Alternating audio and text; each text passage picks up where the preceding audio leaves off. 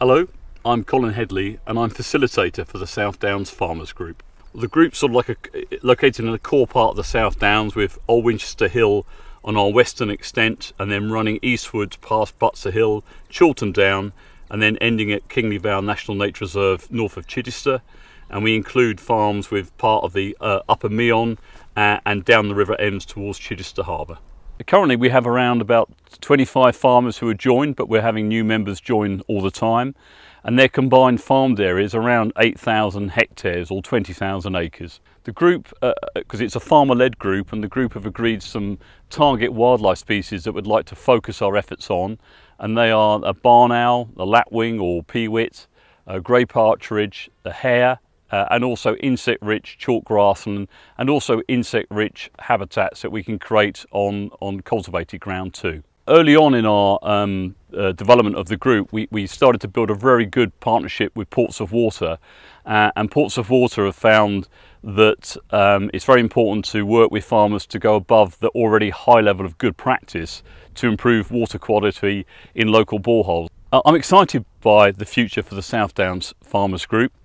Uh, I think the key thing is that we, we know that climate change is going to put additional pressure on food production and on wildlife conservation and that's why partly why landscape scale delivery is so important and we also know that farming whether it's through government schemes or perhaps through private funding um, that a larger part of our income as farmers is going to come through the delivery of the environment.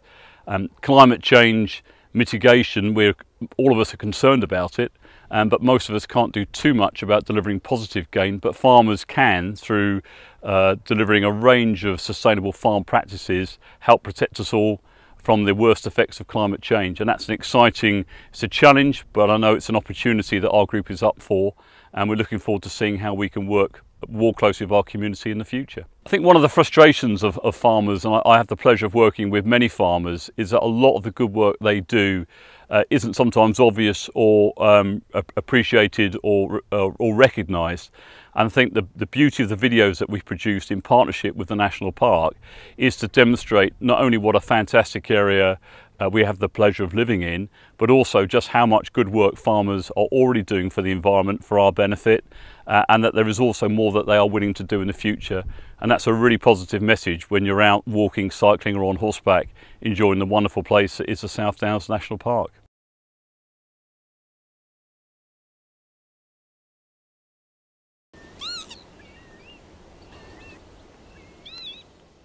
Hello, I'm Stuart Reed and I'm a member of the South Downs Farmers Group. And we farm here north of Chichester um, in West Marden on the Watergate estate. Predominantly we, we have crop production of milling wheat for bread, malting barley for beer and oilseed rape for oil production.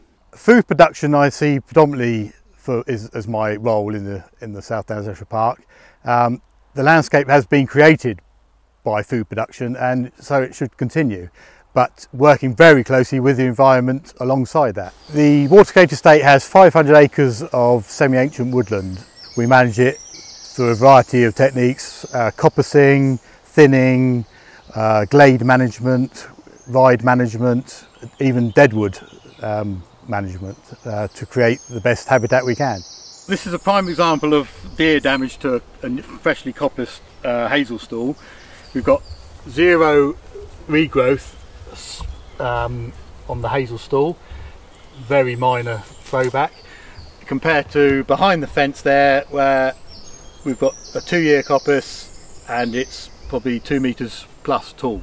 So that's the value of fencing and the amount of deer that we've got in this area. In the woodlands we do have a few ponds, um, very simple ponds. We just scrape out some soil, um, create a, a pond, which again, you've got a totally different wildlife habitat for various insects and animals. The challenges in the woodland at the moment is ash dieback, which is a fungus which eventually kills the ash tree, um, which we have to deal with because they become very brittle. We will leave a few for dead tree management where they're safe to do so, and we will replant with native species of uh, trees Favourite part about being a farmer would be the variety of the jobs that we do, um, the extreme variety of the jobs. One minute can be wildflowers, look, tending to or looking after wildflowers. The next minute crop production and fixing a machine later on. Um, it's just a very varied work.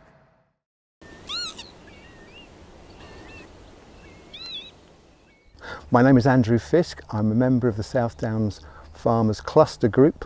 Um, farm here at Heberden's Farm, been here since 1960. The crops on the farm are milling wheat for your bread, malting barley for your beer, whiskey, and um, milling oats. I think you might find those in um, your breakfast. Um, beans, I'm sure they're actually the beans will be for human consumption probably in Egypt and um, or there'll be cattle feed. We have bed and breakfast, cut flowers, um, new project, um, diversification, and there's DIY livery for horses. We have 20 plus horses on the farm, and I'm sitting on a bale of hay, which is going to be the autumn feed. Bird life is is rich. The RSPB have um, done a few surveys on the farm, and um, we have good numbers of skylarks and yellowhammers.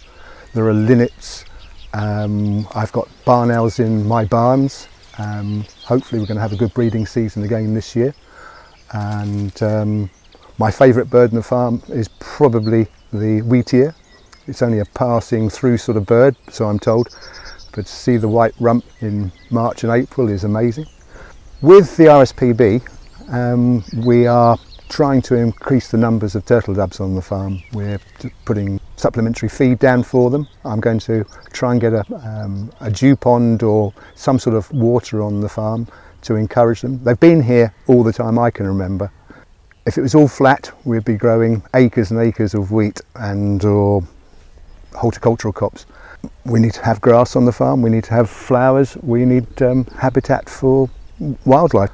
Flowers in the margins, Phacelia would be a big one. This is a lovely purple flower. Attracts bees and insects in great numbers.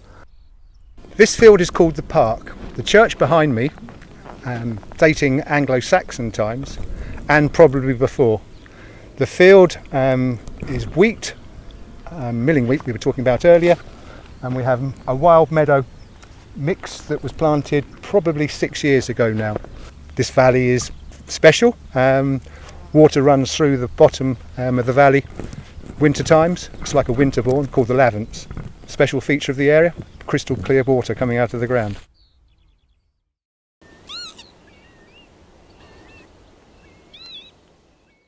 My name is Simon Budden and I'm a member of the South Downs Farmers Group and uh, we've been farming here, my family been farming here in the South Downs since the 1920s and we farm here at Chorlton we farm mainly cereals and we grow malting barley, milling wheat, milling oats, oilseed rape and uh, winter barley.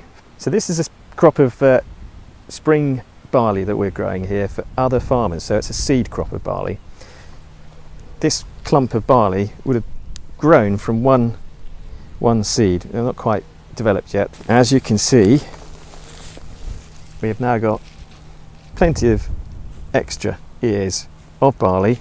So one seed can produce up to 140 plus seeds for us to sell to other farmers to plant and grow. And it's the same for the oats over here as well. The benefits of belonging to the South Downs Farmers Group are we can coordinate all of our actions together and we can create corridors right the way across the landscape. We're really keen to conserve our lovely brown hares the barn owls, the lapwings, and the uh, species rich grass downland is brilliant for, for all of the insects and bees and things. My favourite part of being a farmer is the the daily challenges. Everything's everything's different every single day, and uh, with the weather as well thrown in, it's it just makes life interesting. This grass field is protecting Anglo-Saxon archaeology. We have a, a, uh, burial mound here, one we're still on at the moment, and then between the two pylons was a uh, Anglo-Saxon settlement that my grandfather excavated in the 1970s.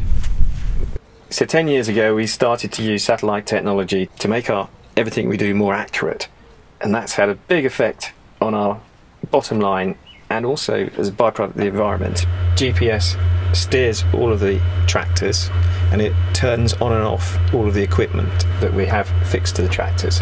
So this crop sprayer, when it's folded out, every single nozzle is turned off when it reaches a field boundary or part of the field that we don't want it to spray anymore. It will turn itself off using the information from these, I think it's about 12, 13 satellites, and that corrected signal from that we have from John Deere is accurate to within two centimeters, and that's repeatable every year.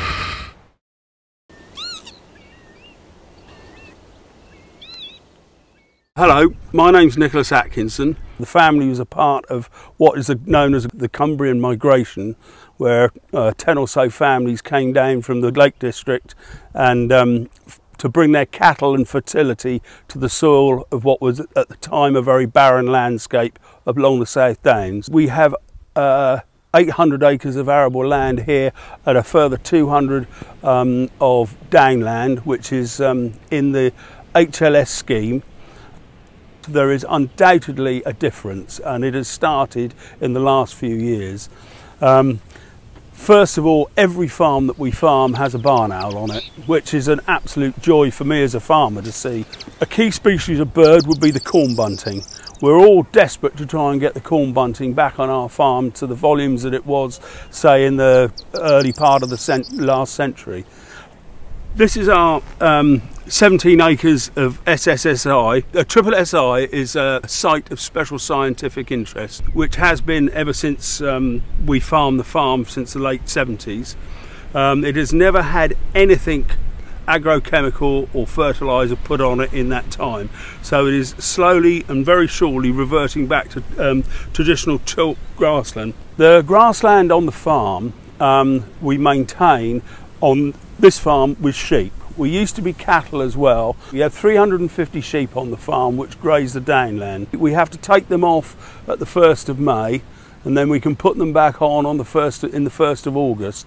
And the idea of that is to let the natural flowers which used to live on the downland to regenerate and seed. Obviously our primary business here at South Farm is, is an arable enterprise producing wheat, barley and oats. We have to maintain and keep our crops disease and pest free and for that we use the sprayer.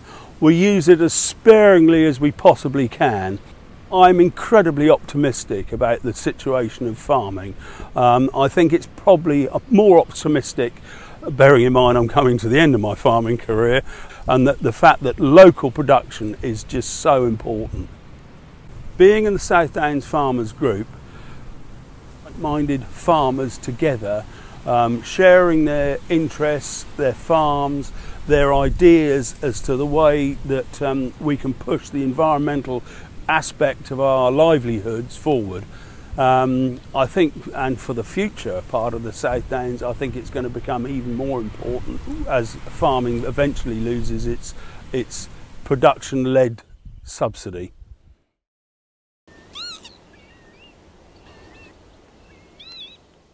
Hi, my name's Will Atkinson and I'm a member of the South Downs Farmers Group. I'm fifth generation farmer of this farm here our family came in down in 1906. The farm is a traditional mixed farm, so that means sheep, that means cattle, they're both for, for meat, but we also have arable. Wheat would be off to Warburton's, maybe for, for bread.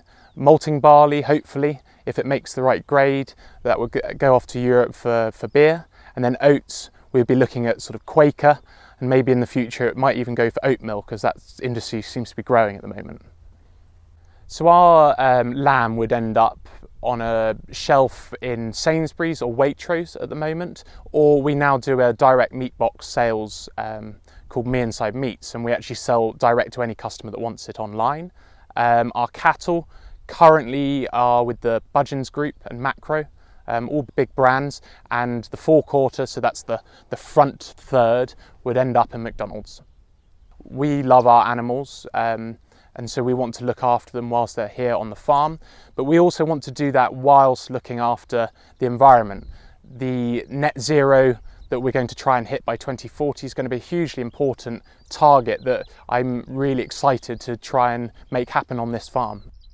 Water voles was a, is, a, is an interesting species when it comes to trying to reintroduce. Um, everyone seems to like eating water voles, whether it's a, a barn owl, a heron, or the mink. And it's been great. We've been working well with several different organisations to reintroduce these. So farm tours are a bit of a passion of father and I. We we enjoy telling people what we do here on the farm and more and more people need to learn about where their food comes from. And this starts right from sort of key stage one and two uh, primary school kids. There's a new initiative um, that's come forward which FaceTime a farmer, so it's using basic tech um, to basically get urban schools that wouldn't necessarily be have access to here to be able to see exactly what we do. So they FaceTime us. We can stand here like we are today and talk about exactly what we do from the classroom. Working as a group, um, of course, that gives you a bit more weight. It adds land area, especially for the environment, for things to flourish. So key indicators, key uh, bird species that we're trying to protect, they need space. They can't just have one farm that is trying to do its best. So this group really brings together a group of farms that are very located near each other and it really helps focus the mind. There's a little bit of competition going on between each farmer. I think that's good and, and that will hopefully go into the future.